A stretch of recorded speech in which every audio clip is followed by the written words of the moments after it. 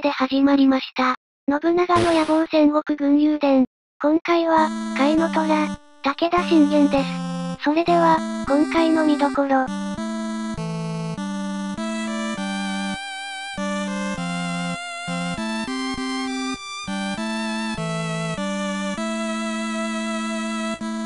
以上でお送りいたします。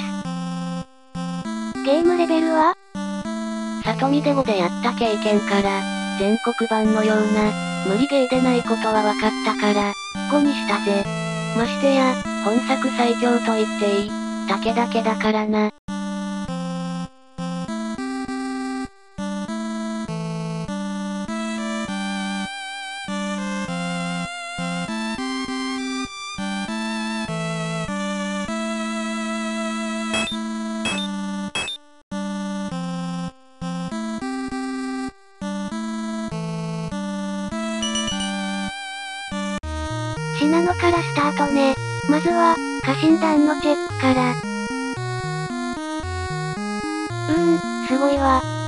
のごとくとはこのことだな。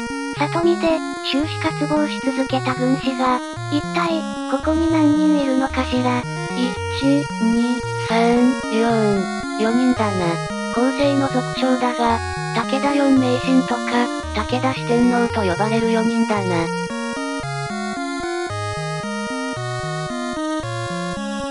なんで、また見るんだ？いや、あまりにも人材が揃いすぎてて、見とれちゃうわ。個人的には、能力のバランスに疑問もあるな。山形は政治から戦闘に銃を移したいぐらい。馬場も、他の3人に比すれば評価が低すぎると思う。高坂と、内藤の政治力も、ちょっと高すぎると思う。ま、あとは、信濃の城主が、山形というのも、ちょっとどうかと思うな。やっぱり海津城には、高坂壇上がふさわしい。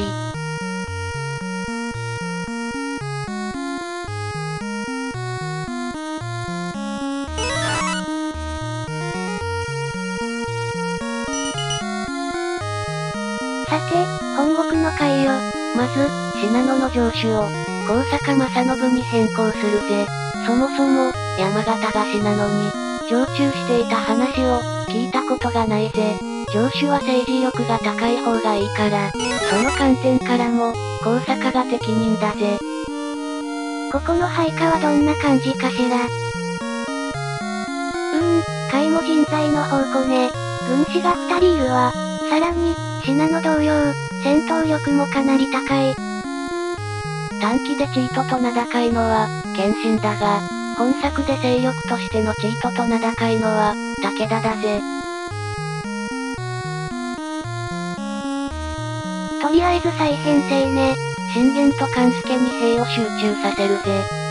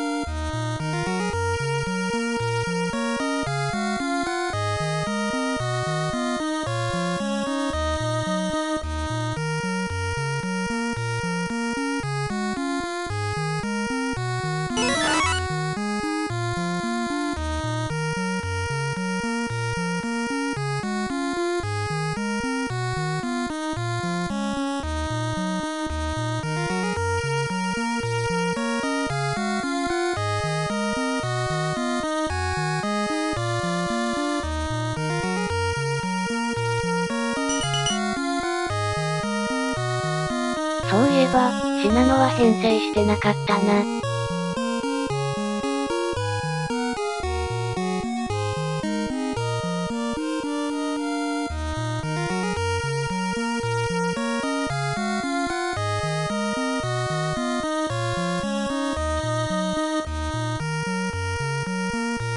戦闘力にトップの、高坂と内藤に、兵を集中させるぜ。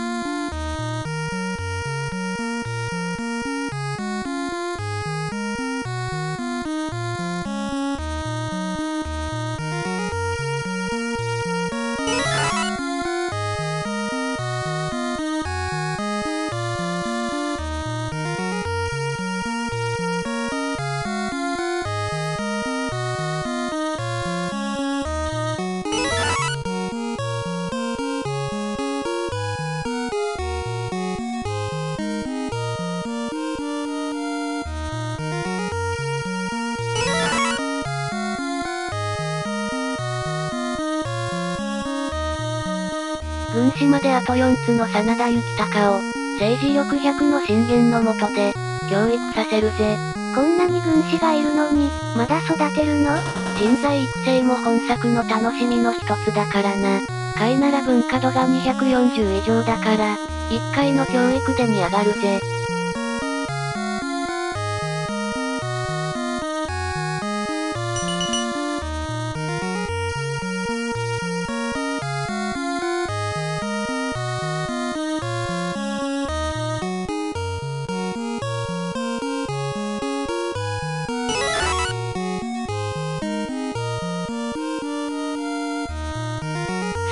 早速真田を教育だ。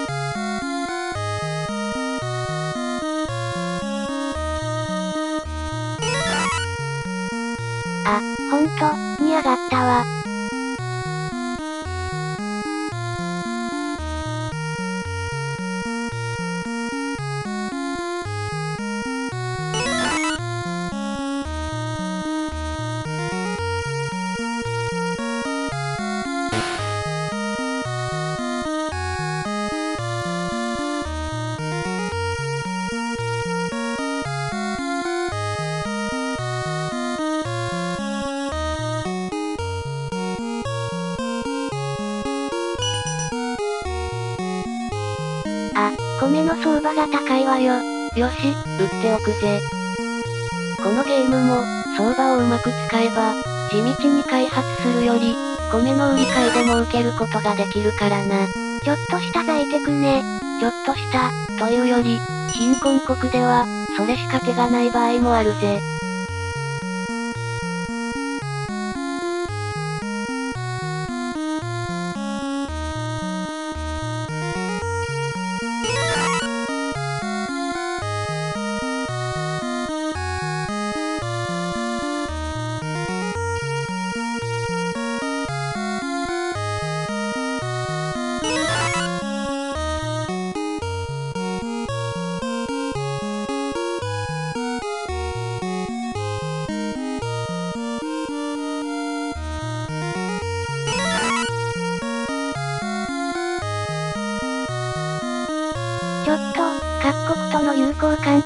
確認しておくわ。さすがに謙信とは悪いな。三国同盟の北条、今川とも、あと、3ヶ月で期限切れだぜ。本願寺も友好的ね。信玄の性質と、交差の性質とは、姉妹、つまりは義理の兄弟なんだぜ。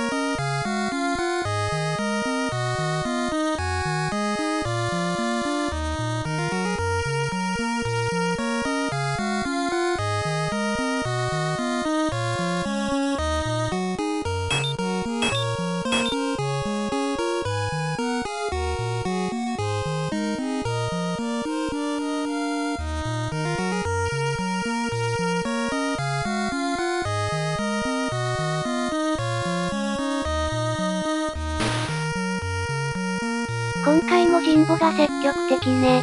能登は無本で弱体化してるんだろ。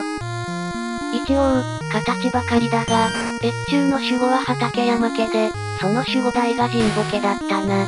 ということは、これはむしろ、無本なのね。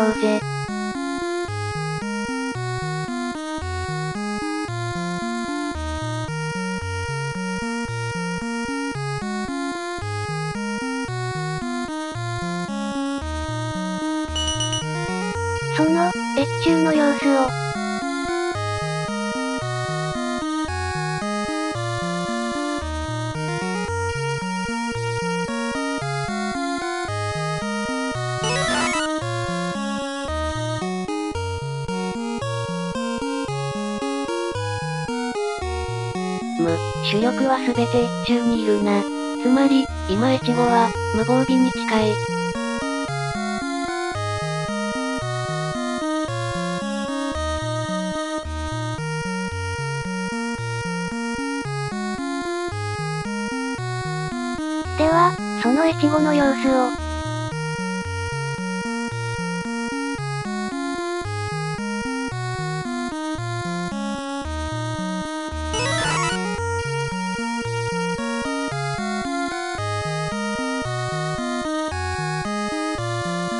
はりな。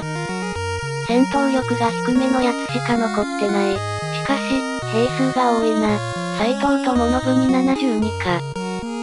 ここは跳躍だな。ここからは4倍速でお送りいたします。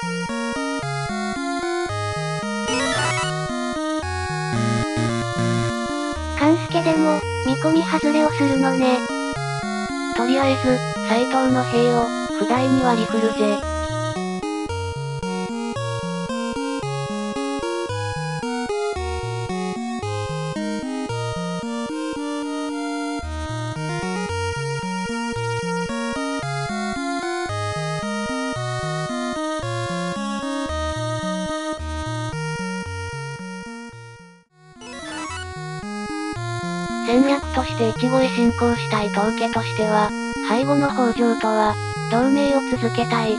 北条との同盟を結び直しておくぜ。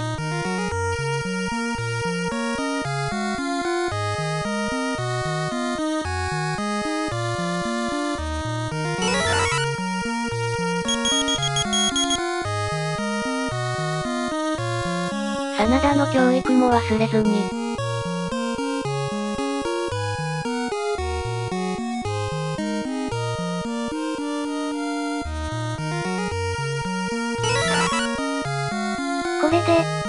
軍師ね。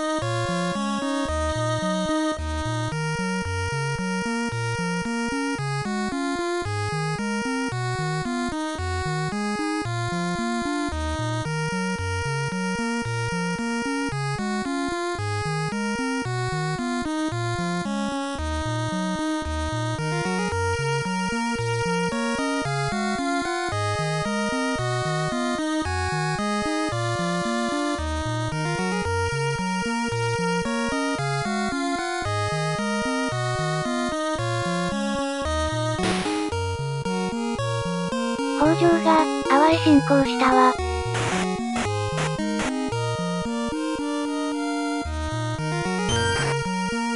これで、南関東の背後を固めたわけだ。本作には、共同作戦はないが、共に、共通の敵は、上杉になるな。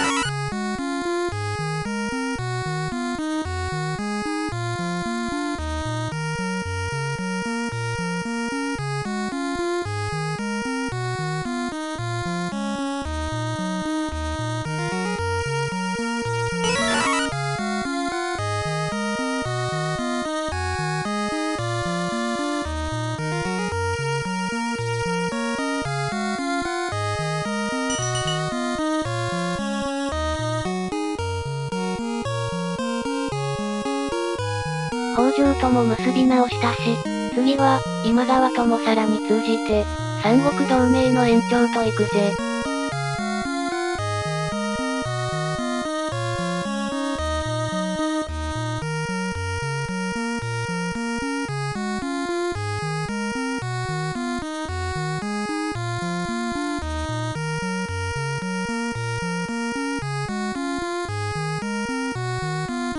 勘助は不承知か。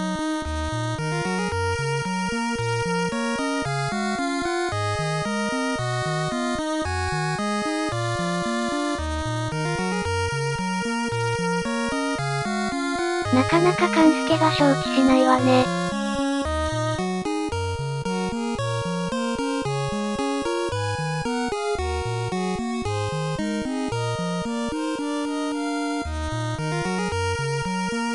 やっと承知してくれるか。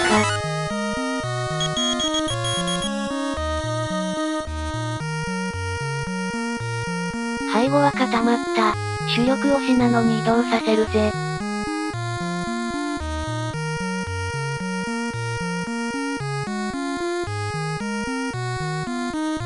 勘助は、貝に留守同盟したとはいえ、本拠を突かれたら困るわね。勘助は兵数百だから、たとえ、氏康自身が出陣してきても、持ちこたえられると思うぜ。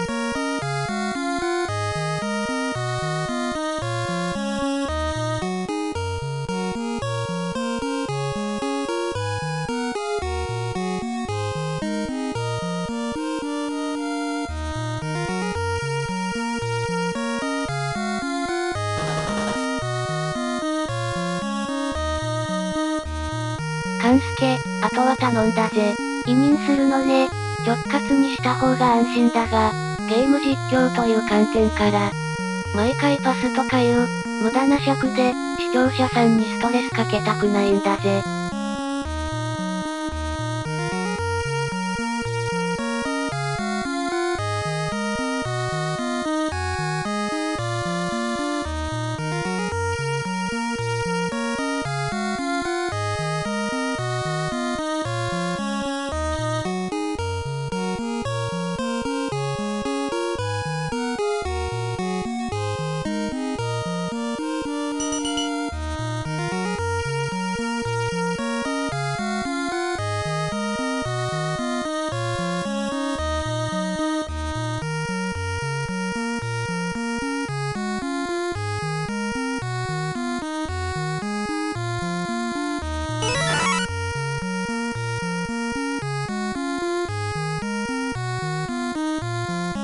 早速、越後へ攻め入るのね。ここは、天候石火で、越後だけでなく、越中まで攻め入り、謙信の首を上げたら、さっと信濃まで引き返したい。甲斐のことは、心配してないが、美濃の斎藤や、三河の家康に、信濃を突かれると苦しくなるからだぜ。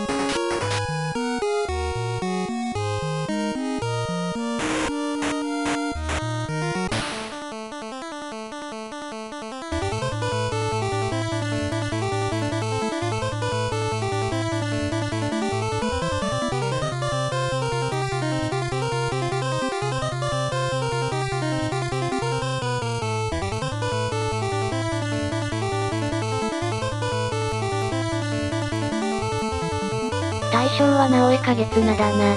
野襲で一撃に打ち取れるかもしれないぜ。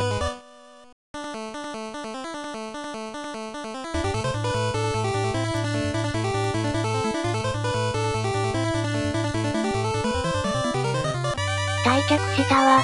さすがに、野襲を察知したんだろうぜ。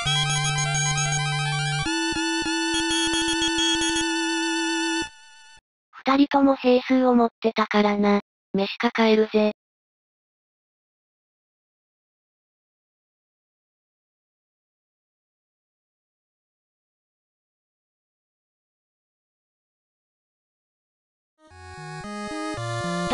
相手なのに、条約をかけに来てるわよ。まあ、私でもそうするから、そんなに気にすることはないぜ。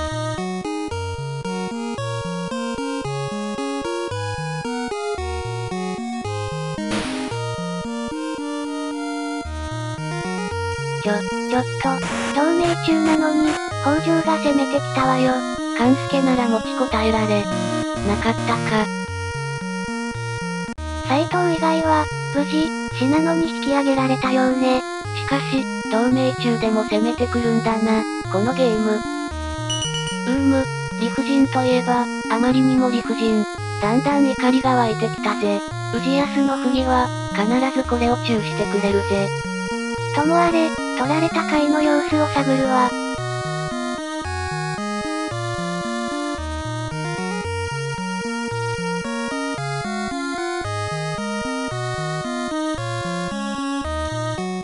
さすがに取ったばかりの回警戒が半端ないわ。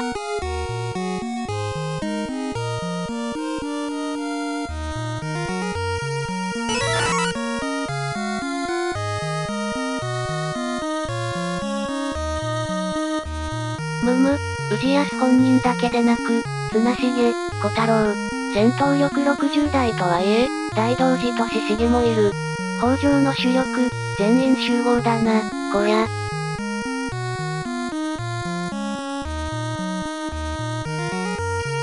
信濃に引き上げた勘助の、残存兵数が気になる。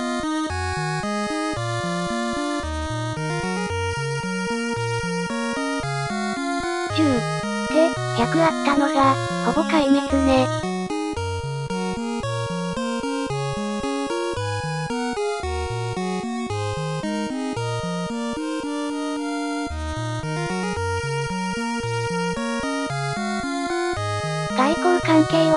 を再確か、氏康と同盟したのは、今川との前月だったと思うから、残り6ヶ月あったのを破棄してきたのね。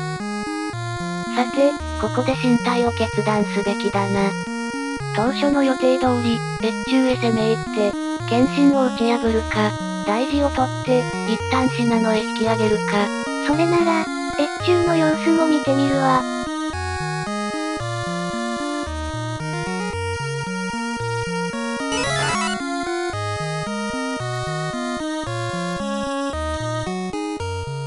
謙信本体は66か。やっぱり信濃へ戻る？戻っても氏康も兵数60、短期間で勝負つくだろうか。しかも、その間に、謙信が100にでもなろうものなら、手がつけられなくなる。よし、決めた。氏康への怒りは、とりあえず置いといて、ここは冷静に、当初の計画通り、まず謙信の首を上げてから、死なのに帰還するぜ。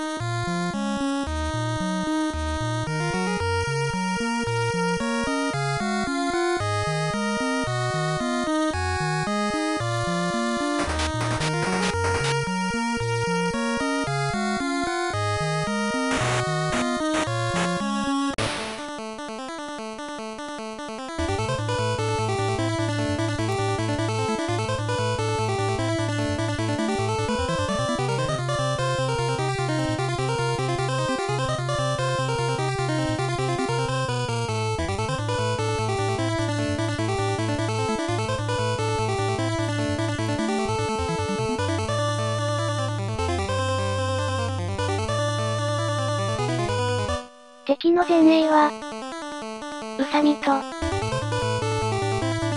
柿崎ね。越軍最強が先方なわけだな。できれば、これを迂回して、謙信へ肉薄したいが、謙信が野州一撃で敗れ去るとは思えず、最終的には籠城戦になるだろう。そうなると、結局敵軍を全滅させることになるから、常駐で戦うより、野戦の間に野襲した方が、こちらの被害は少ないと判断するぜ。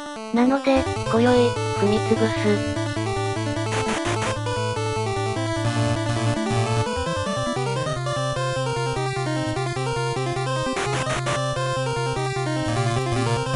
目算通り、敵の前衛はつえたわ。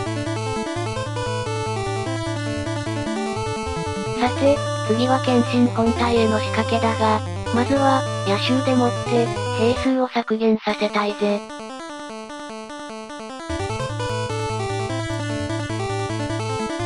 元神保家臣の小島元重が、こちらへ寝返ったわ。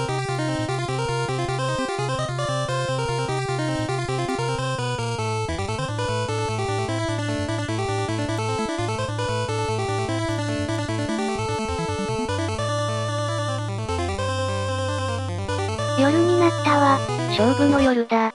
どれだけ謙信の兵を減らせるか。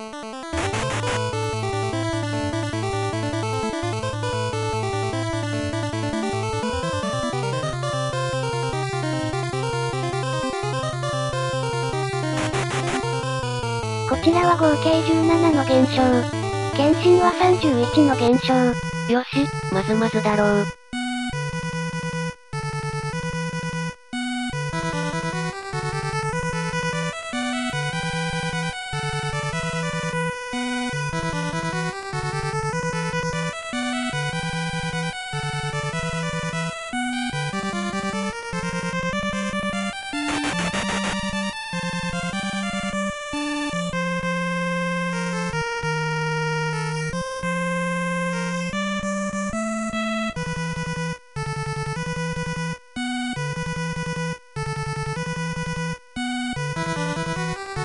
山形に先陣を譲るぜ。謙信の首は、三郎兵衛に上げさせ、戦闘力アップさせるぜ。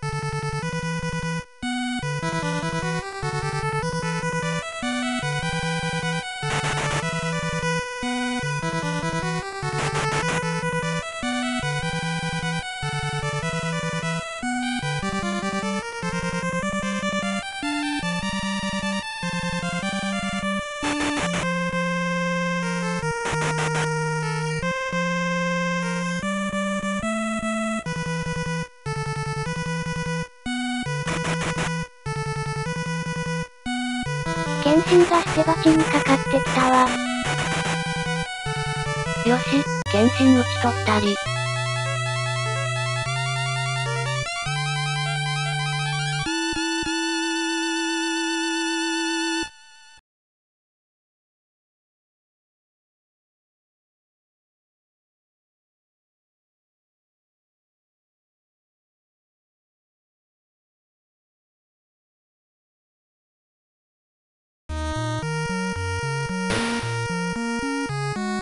一族の長尾正景が継ぎそうなもんだが、北条が継ぐんだな。しかし、いずれにせよ、もう神付は物の数ではない。あとは、信濃へ引き返し、氏康との全面対決だぜ。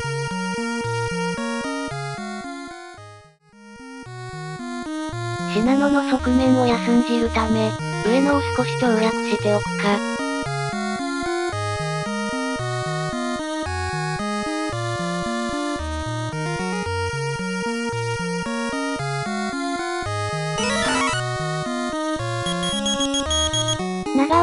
かゲット。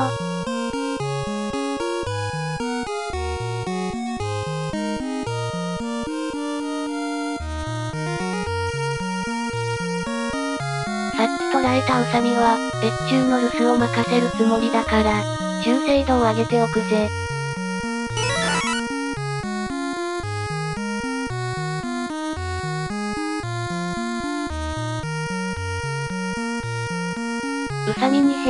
預けるよう編成し直すぜ。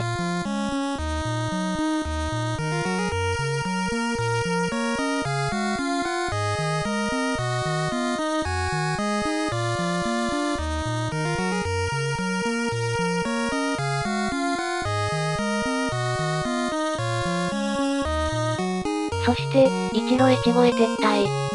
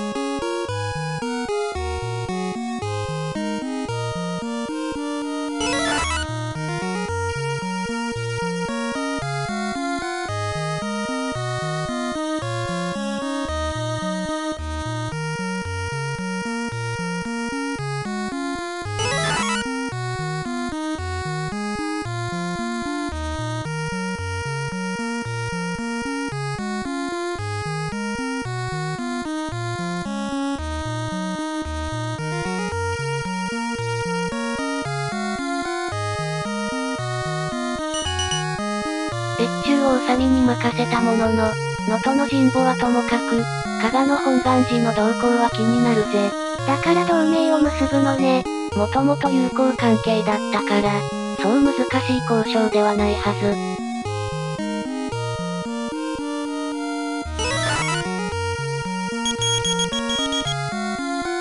交渉成立。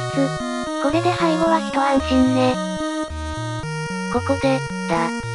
信濃に戻って、いきなり氏康に決戦を挑むより、まず、神付を攻め取り、氏康背後の武蔵を脅かすぜ。それのみならず、もたもたしていると、逆に、神付を北条にかすめ取られることになる。その前哨戦として、敵兵力の低下策を発動するぜ。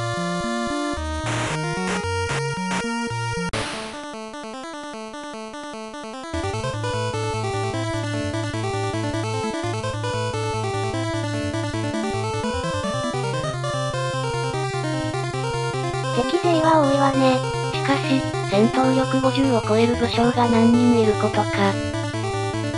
まずは、敵を丸裸にすることから始めるぜ。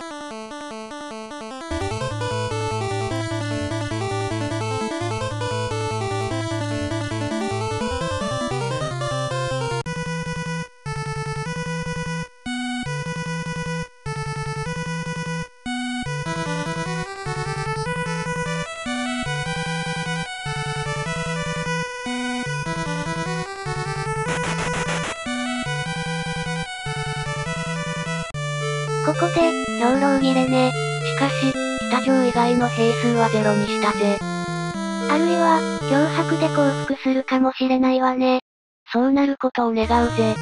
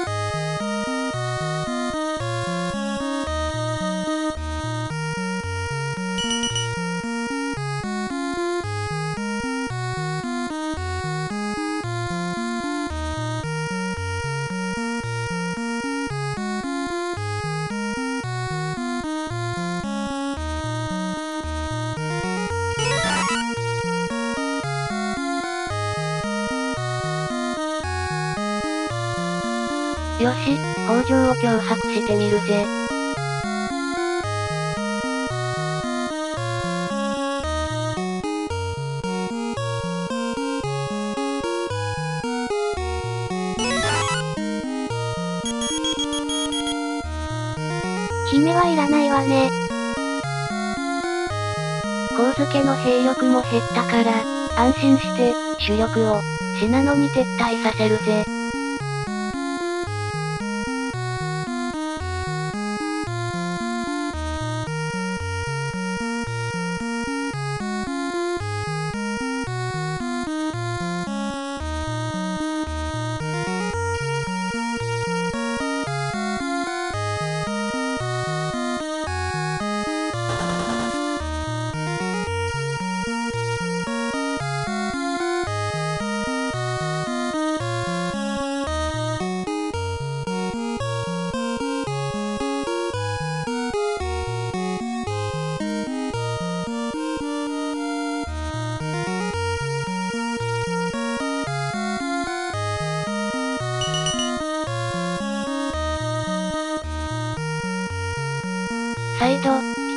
脅迫だ。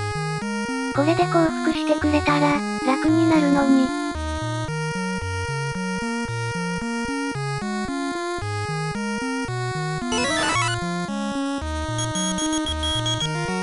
降伏はしないか。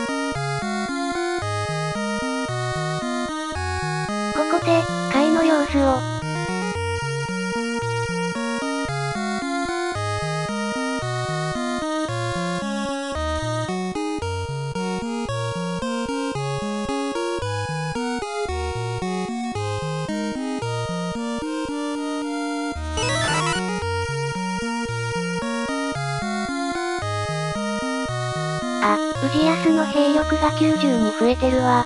やはり、即戦即決とはいかないな。予定通り、光付けを先に取る。さらに、そこから武蔵相模まで取って、氏康の帰るところを、なからしめん。書い、立ち枯れさせてやるぜ。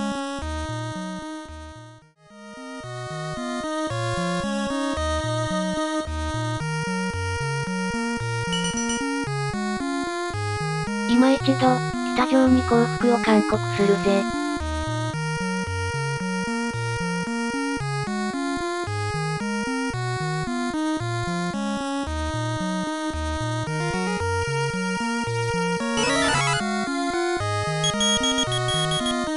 降伏しないわね。金品はいいから、国をくれ。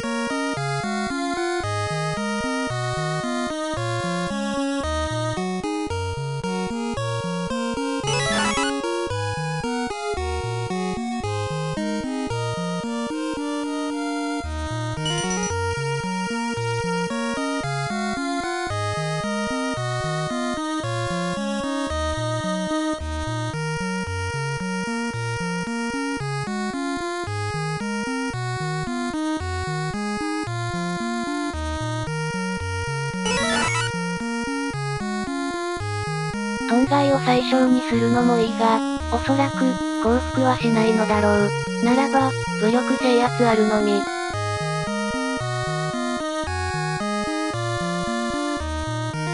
兵糧が1ヶ月分ないわね。北条一人、籠城されても、半月で落としてみせるぜ。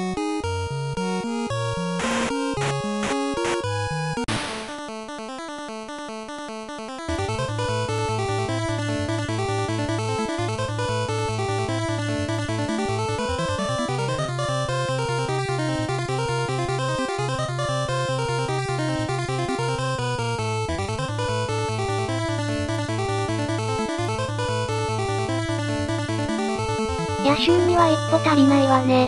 次の夜まで。待たない。籠城されるわよ。あ、しない。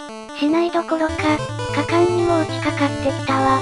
よし、その儀ならば、突撃。おお、素晴らしい。一撃でほふってしまったわ。半月どころか、二日足らずで攻略できたぜ。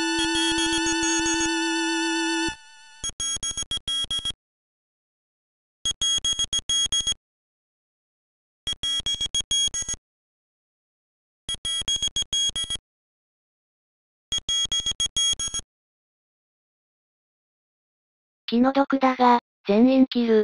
光付の諸将は、飯抱えるには、物足りないからな。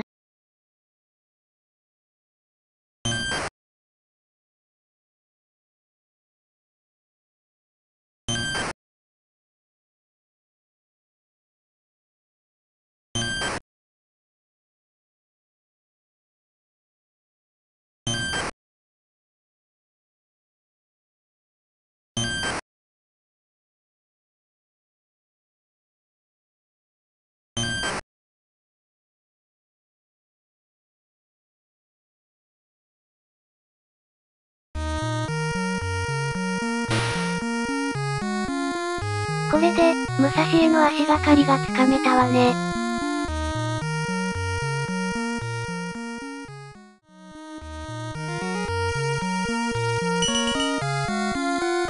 後方地になった越後から、神津系主力を移動させたいが、上杉の急進に城主を任せるには、忠誠度が低すぎる。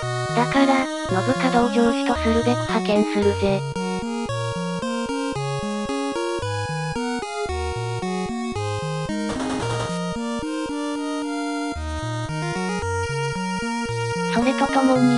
藤正豊を、神津家の高坂の寄り木に派遣するぜ。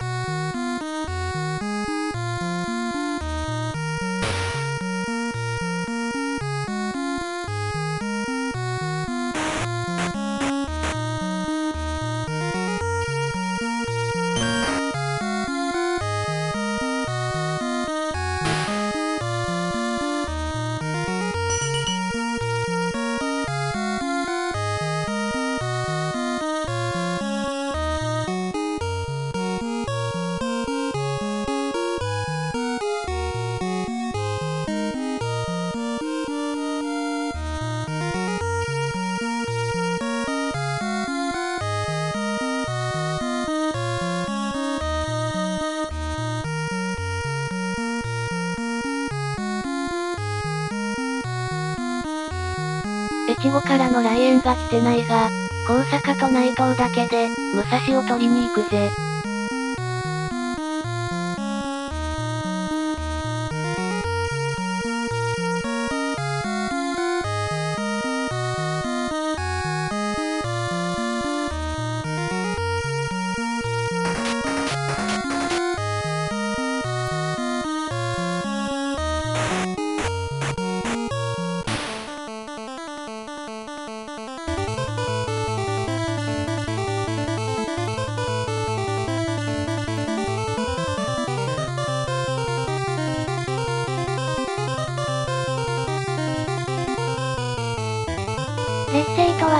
けど、相手も思った以上の兵力じゃないそうだな。しかし、戦闘力に圧倒的な差があるから、力でひねり潰すぜ。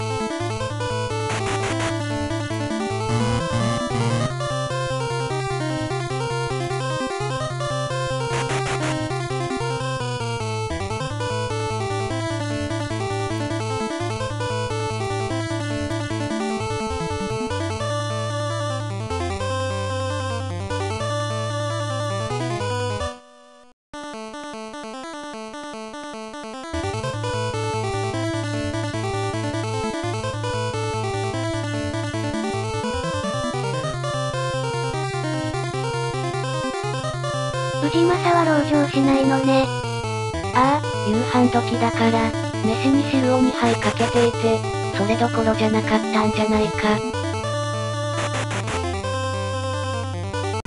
ようやく籠城ね。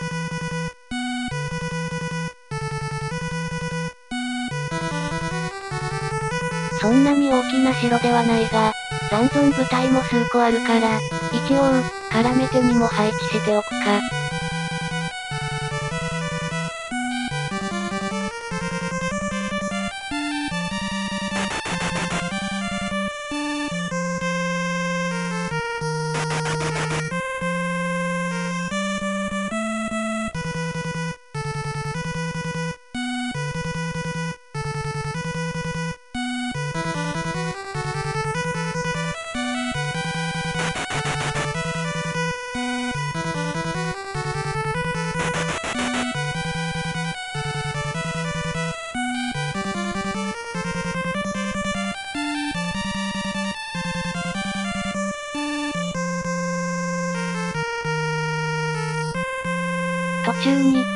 状態がいるな。敵のこの布陣だと、もったいないが、全滅させることになるだろうな。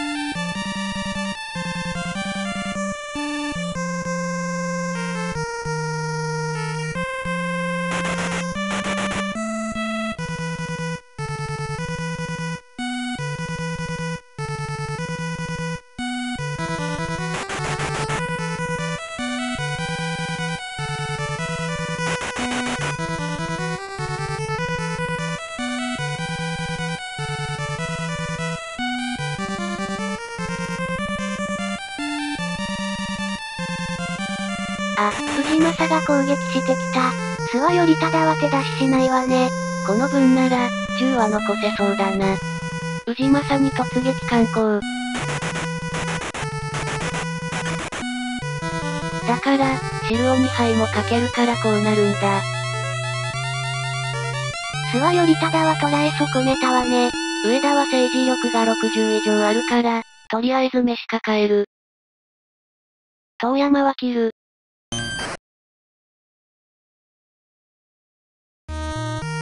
シアス包囲まで、あと一歩ね。こういう時だからこそ、今川との関係を、さらに深めるぜ。相模を取った途端に、攻められてはたまらんからな。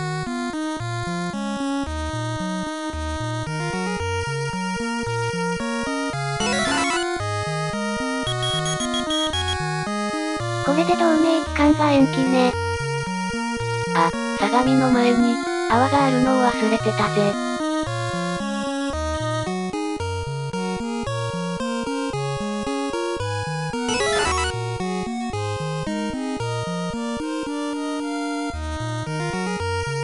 これは、ひとひねりね。そうだな。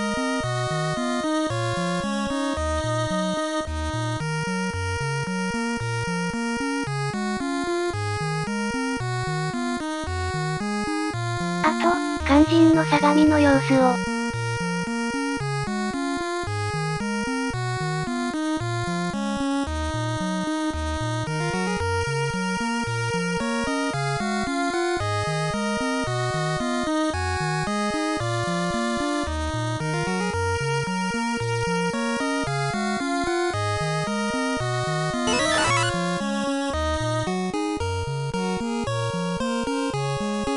かなりの兵数を温存していたのね。うーむ、氏国の戦闘力は恐れるに足りんが、これらを全滅させるのは、もったいなし、かなりの損傷を強いられるな。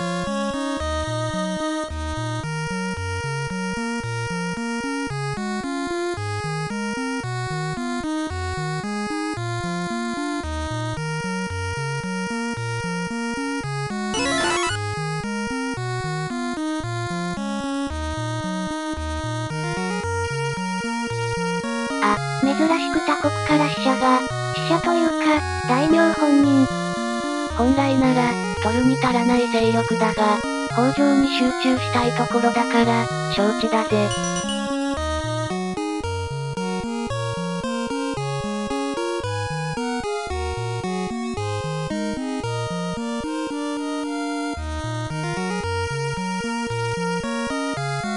村上と柿崎は、神付け移動。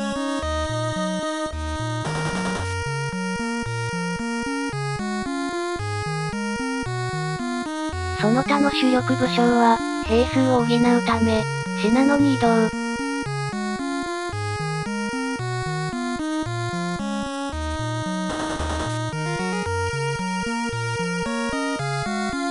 とは、信門に委任するぜ。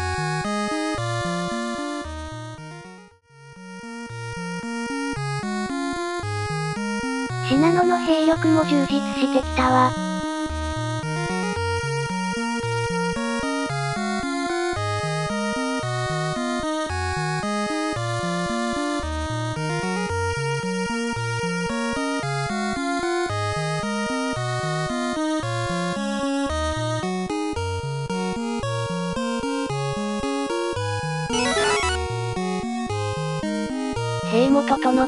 ろで、慶喜と勝頼を関東へ増援させるぜ。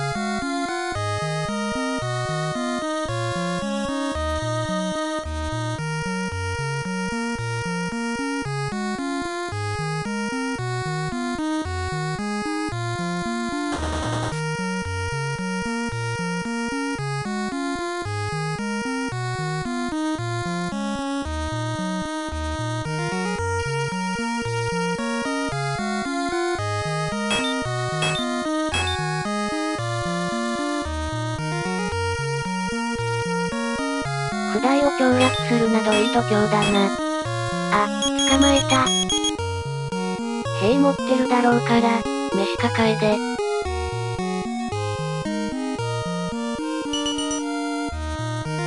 米の相場が高いわよ。兵糧売るには、いいチャンス。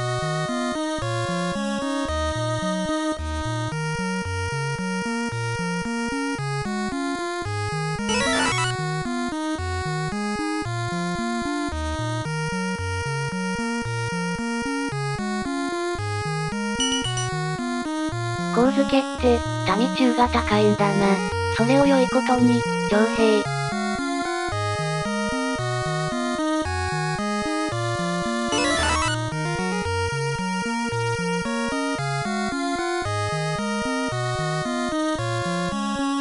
そして、武蔵へ増援ね。これで、泡に派兵できるぜ。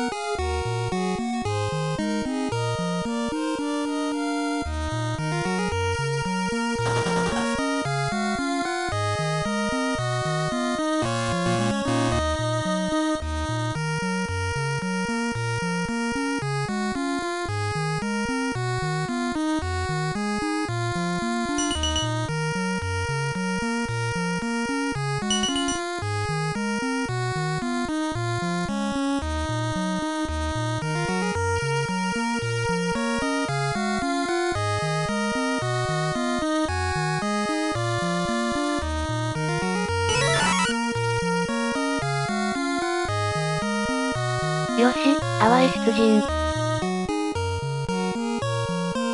慶喜を使わす。出陣後、行動力が5しか残らないわよ。泡には誰も攻めてこないから、問題ないぜ。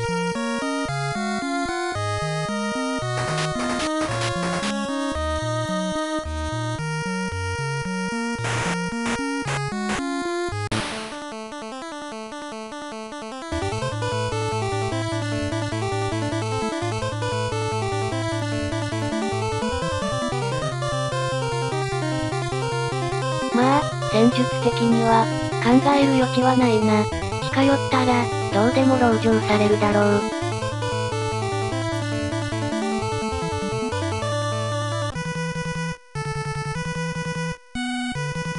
南北どちらから攻めても、条件は同じね。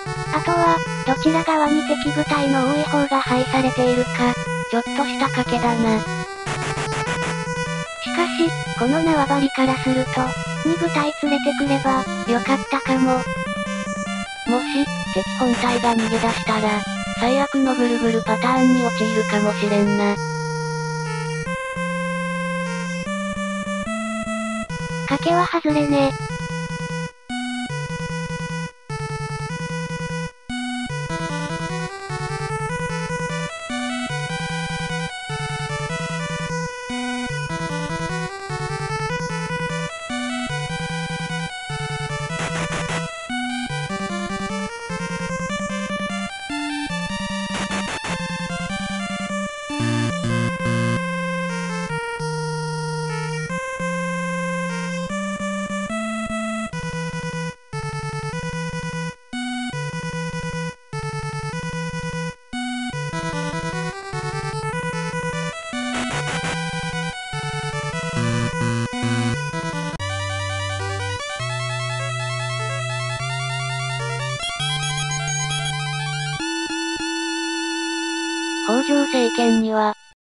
忠誠度が低かった連中だから、とりあえず飯抱えで。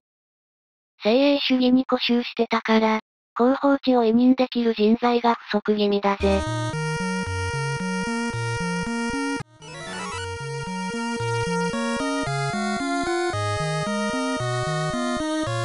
婚姻ありの北条を攻めてるからか、本願寺との友好度が下がってるわね。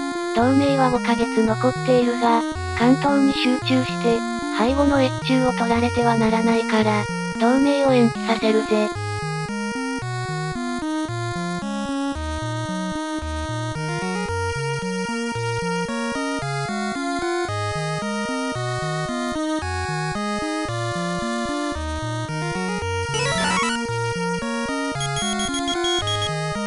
さすが東家最高政治力の真田だぜ。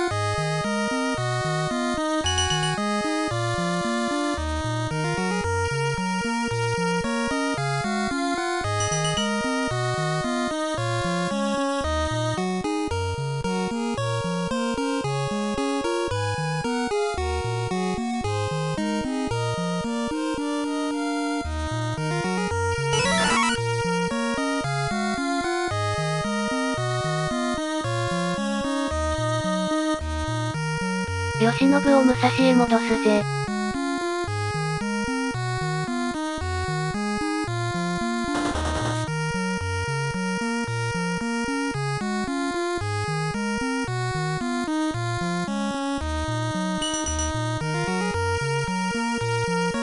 ところで、本願寺の有効度は、どれぐらいになったの ?50 ではまだ心もとないわね。よし、さらに同盟を。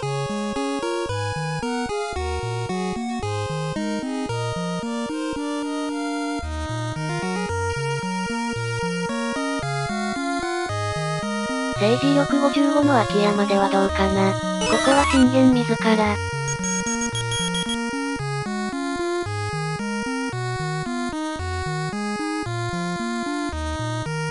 中つしか上がらないのね。しかし、もう死者に派遣できるものがないから、また来月以降だな。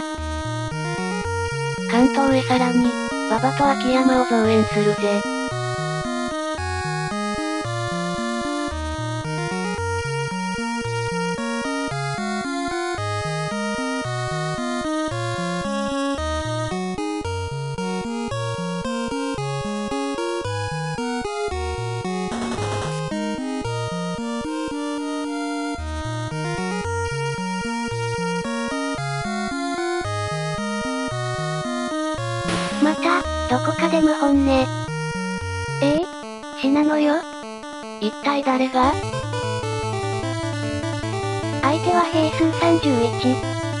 そらく、先頃捕まえた、津田の仏具あたりだろう。ならば信玄だけで片付くぜ。あ、小山田信繁なのか小山田は、史実でも、勝頼を土壇場で裏切るからな。忠誠度が高くても、隠しパラメータの義理が、低いのかもしれんな。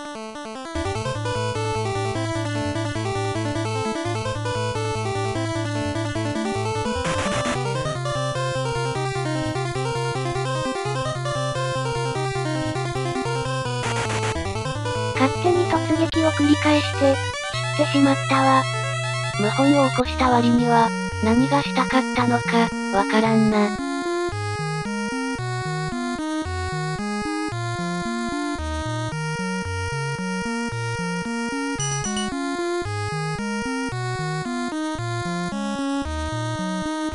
気を取り直して、本願寺との交渉を再開だ。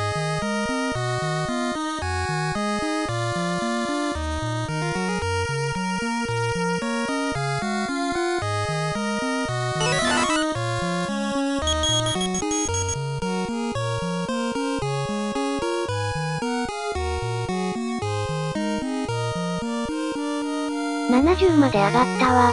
油断はできないが、まず、一旦ここで区切りとするか。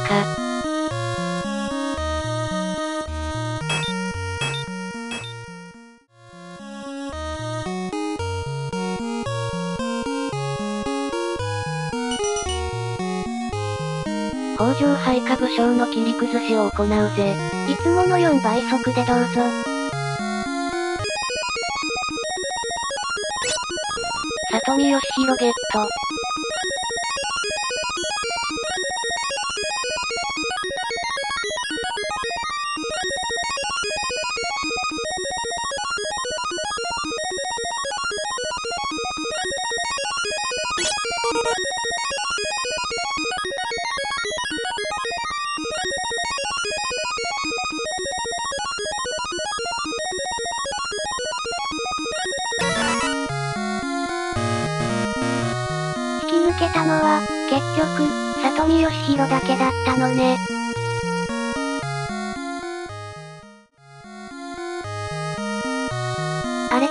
ヶ月。これ以上の回からの引き抜きは、非効率のような気がするぜ。ここは、一つ、下位に攻め入って、相手の総兵数を下げて、氏康本体が再編成で減るのを待つ戦略で行くぜ。でも、その作戦、最近成功率が低くない？まあ、そんな気もするな。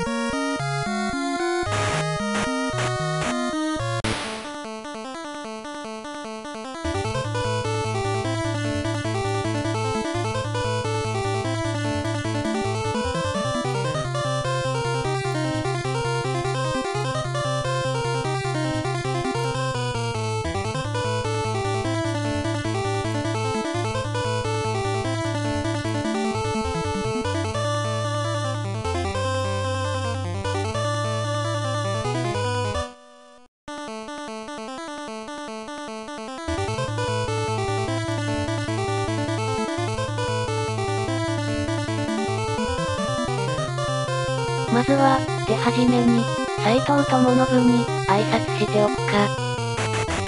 挨拶で済まなかったようね。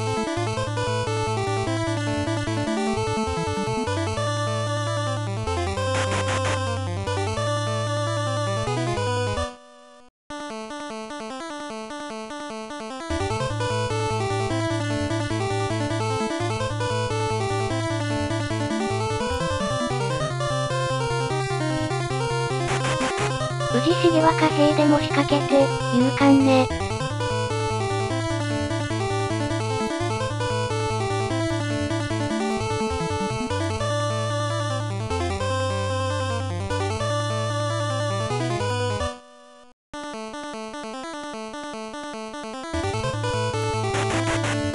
さすが綱重、一撃では壊滅しないな。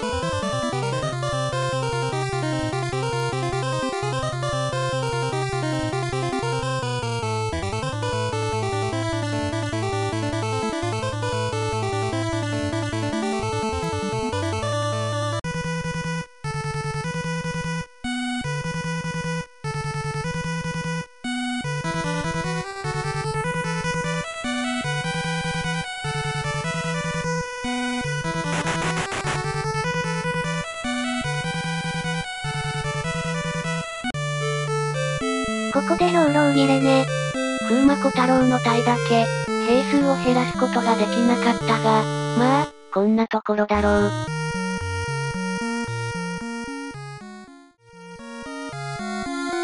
今度は、相模を跳躍してみよう。兵力が温存されているから、やりがいはあるはずだぜ。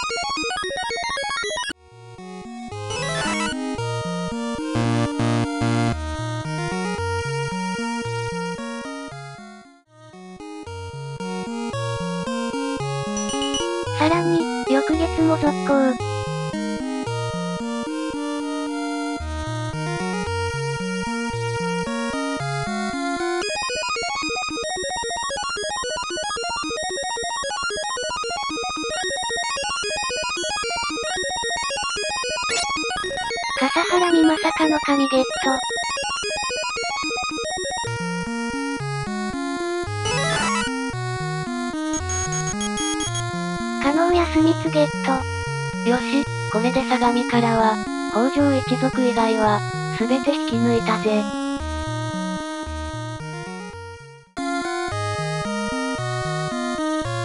そして、満を持しての、武蔵野ターン。とうとう、相模へ進行ね。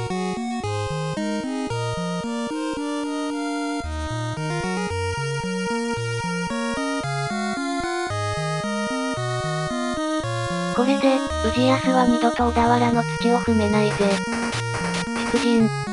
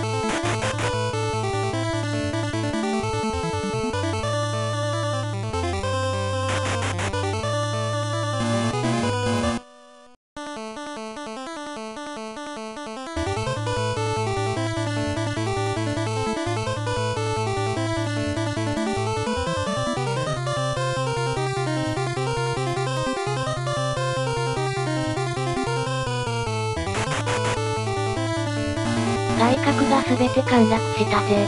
ひとまず、夜を待ってから、野襲だ。行くぞ。あら、氏国相手に、かなりの被害よ。うーむ、むしろ反撃食らってるあ、あれか、小田原城が堅固な分、白型に地形効果が、かなりプラスされているのかもしそうなら、野戦においても、恐るべし小田原城ね。たまたまだが、貝を後回しにして、正解だったな。氏康との決戦場を、相模にしてたら、信玄本体で攻撃しても、どうなったことやら。さすがに、門扉が硬いわね。硬い派硬いが、あとは、粛々と門壊しをして、本丸を落とすのみだぜ。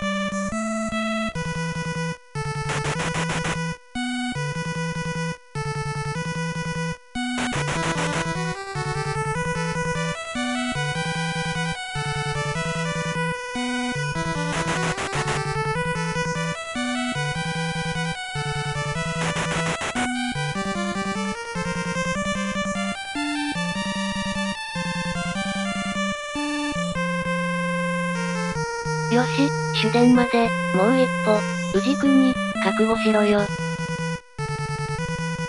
あ、あれ？馬防柵って、機動力貯めれば、通れるんだっけか？通っちゃったもの、通れるんでしょ。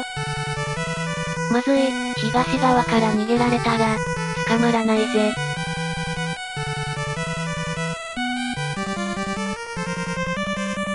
内藤、まずは門を占拠しろ。突撃してでも、脱出するかと思ったが、退却したか。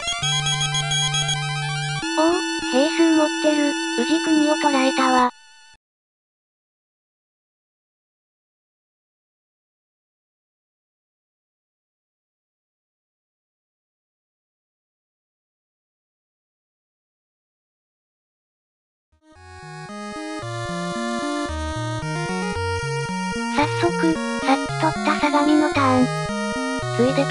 なんだが、出雲占拠しておくか。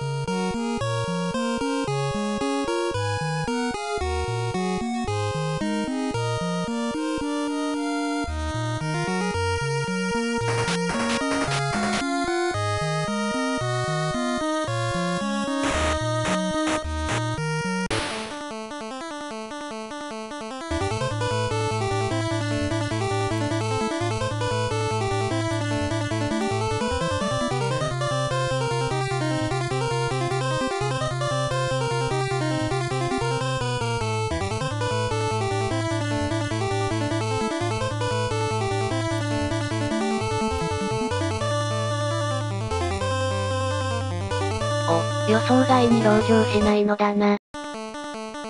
では、遠慮なく、野襲させてもらうぜ。わ、一発で破ってしまったわ。これまでで、最も手間がかからない戦だったな。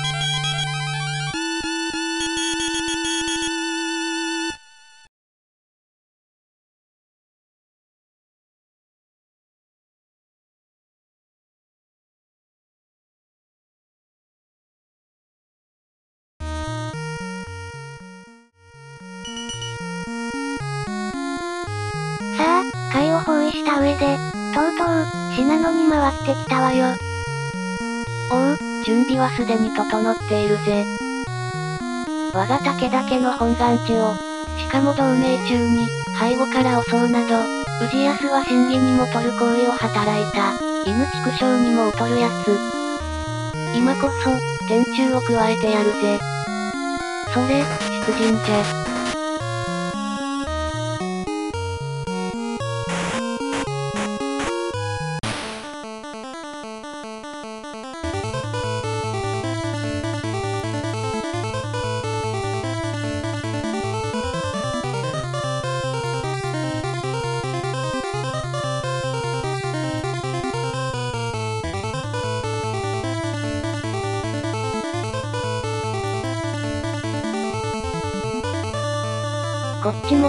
と二人だが、向こうも、小太郎と二人だな。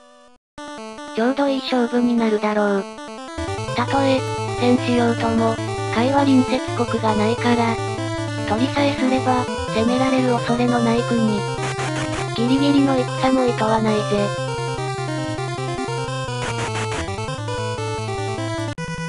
早くも籠城ね。勝って知ったる、我が古巣の居城だ。しかも、筋が先は城というより、館だからな。防御度が知れている。一挙に、門を踏み破るぜ。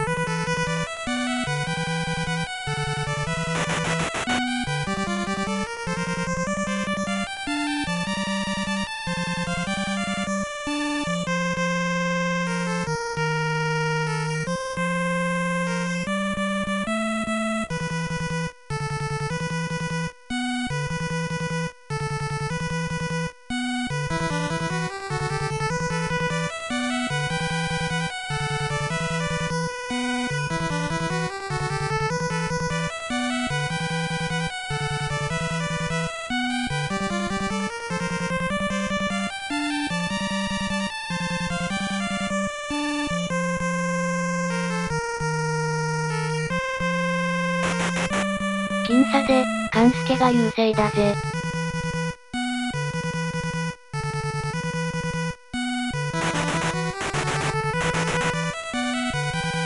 わ、突撃の勢いで、塀に登ってしまったわ。塀の上は、地のりが悪いから、まずい。袋叩きに合うぞ。すぐに援護に向かわないと。取り急ぎ、塀から降りろ。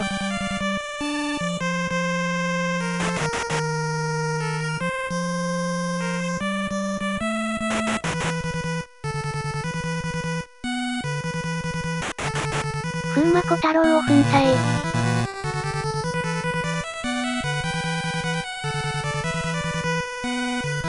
とうとう、氏康と相まみえたぜ。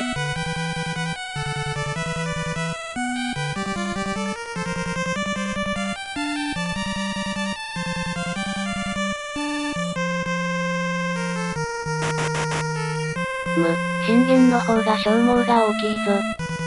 されば、騎馬で突撃だ。よし、こちらの倍以上の損害を負わせたぜ。来たー、大名の玉砕突撃。後ろへ突き抜けたわ。そこへ、追い打ちを。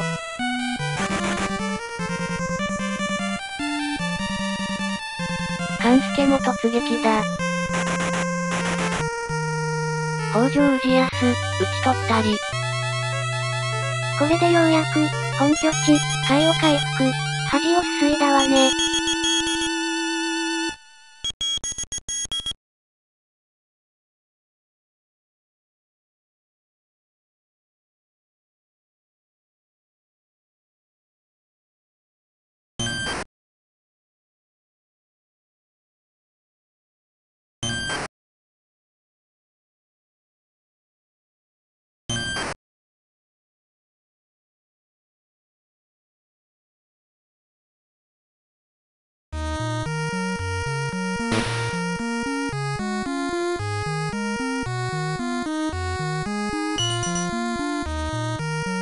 ここで、現在の半島確認してみるわ。